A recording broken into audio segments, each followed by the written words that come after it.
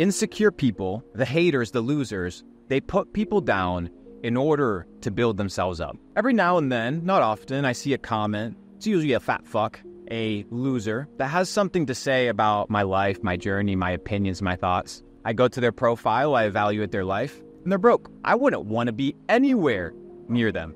I wouldn't want to have any sort of traits that they inhibit. I wouldn't want any part of their life. So why would I listen to them? Imagine being so pressed at what another person is doing that you spend time commenting on the internet as if it's going to change. Parlo italiano, falo portugués, hablo español. I speak multiple languages. I've been to 60 countries. I have a nine figure business, and you think your opinion, your comment matters? Motherfucker, listen. If your mama isn't retired, if your daddy's broke, if your bank account is empty, what the fuck are you doing talking and worrying about what another person is doing on the internet? Shame on you. Do better. Be better because your opinion affects me none at all. Your thoughts about me, your projections and insecurity about what other people have accomplished or done has no impact on my future.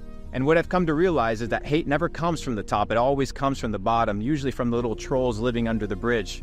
And what I've determined in my life is that if you don't put money in my bank, if you aren't going to be at my deathbed, if you aren't elevating me consistently and constantly, then your opinion is worthless and useless. If you have no money, if your health is terrible, if your mama isn't retired, and if your daddy isn't taken care of, shame on you. Especially if you're wasting time on the internet talking about other people who don't even know you exist.